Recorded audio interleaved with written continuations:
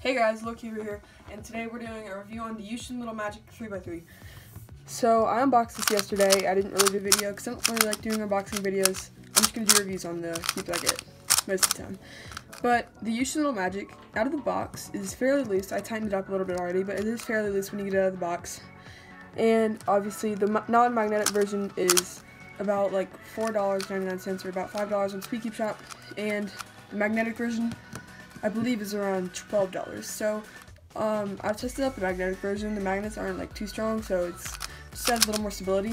But although the tensions are very loose out of the box, this cube just maintains a really controllable feel, despite being very fast. So it took a while for me to get used to it, but now that I've kind of like broken it in, lubed it, and tensioned it, this cube is actually very good. So I'll just let you guys listen to this running for a minute.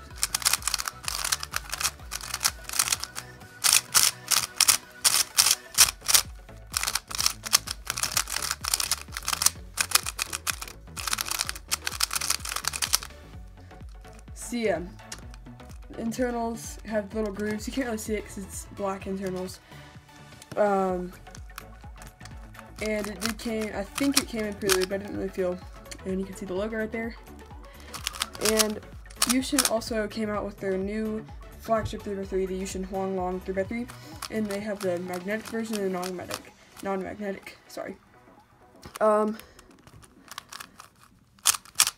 yeah, it's cube. I would definitely recommend it for beginner cubers, and older cubers would probably like the feel too.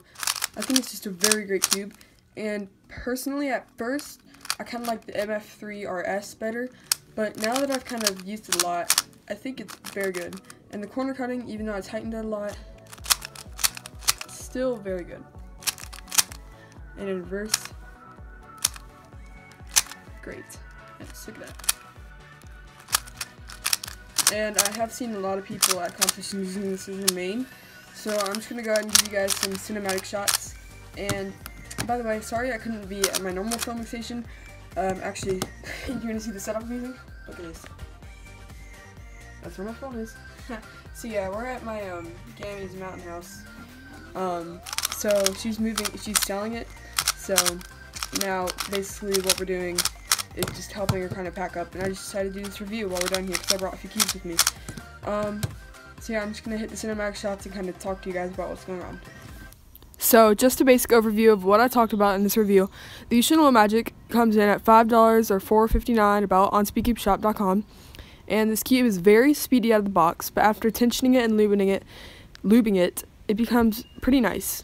Also, another thing I forgot to mention is the shades are not the best, most of the shades are kind of dark, like the orange is darker, the red is darker, and they're not very bright. That's one thing I would do not like about it, so I might order some stickers for it and change out the stickers.